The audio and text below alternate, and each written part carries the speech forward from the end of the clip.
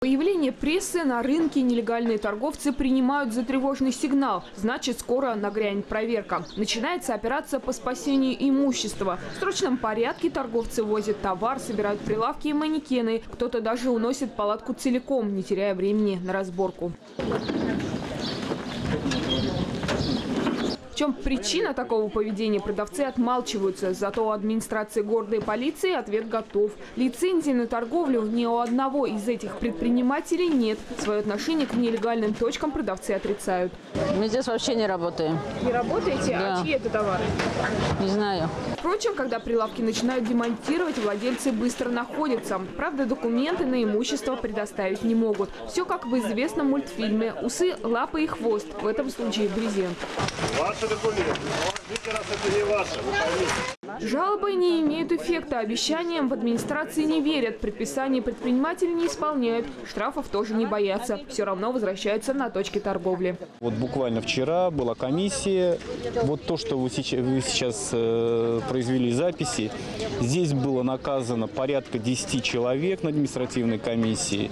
Эти люди не понимают, э, также выставляются и закрывают на все это глаза. Их это не интересует. Сейчас продавцы напоминают потерпевших кораблекрушение. Судорожно собирают вещи, прилавки и палатки. Те, кто не успел вовремя, потеряют имущество. Его забирают сотрудники администрации. Правда, получить палатки можно, если предоставить документы. Как показывает практика, продавцы за вещами не обращались. На рынке же торговцы борются за свое до последнего. Кто-то уговорами, Отойдите.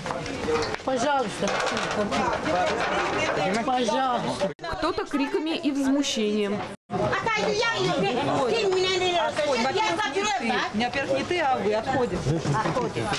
Отвоевать стол продавцу удалось. Клян звала завтра домой. Билет есть звала. Завтра домой поехали.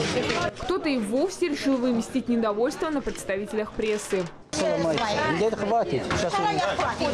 Спасенное имущество тут же исчезает в соседнем дворе. Однако нелегальных бизнесменов это не спасет от штрафа за каждое правонарушение. Главная задача, которая ставится, это пресечение несанкционированной торговли, э, поскольку она и э, нарушает и санитарно-гигиенические нормы, и не платятся налоги э, в бюджет. Им выписываются административные штрафы, соответственно, изымается оборудование вот, торговое.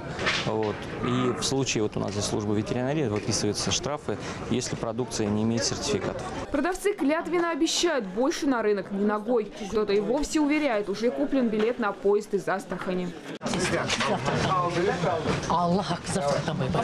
Впрочем, это не гарантирует, что продавец не появится на рынке на следующий день. Поэтому сотрудники ведомств вернутся проверить, возможно, уже на этой неделе. Наталья Фомина, Ольга Галич, Центр новостей.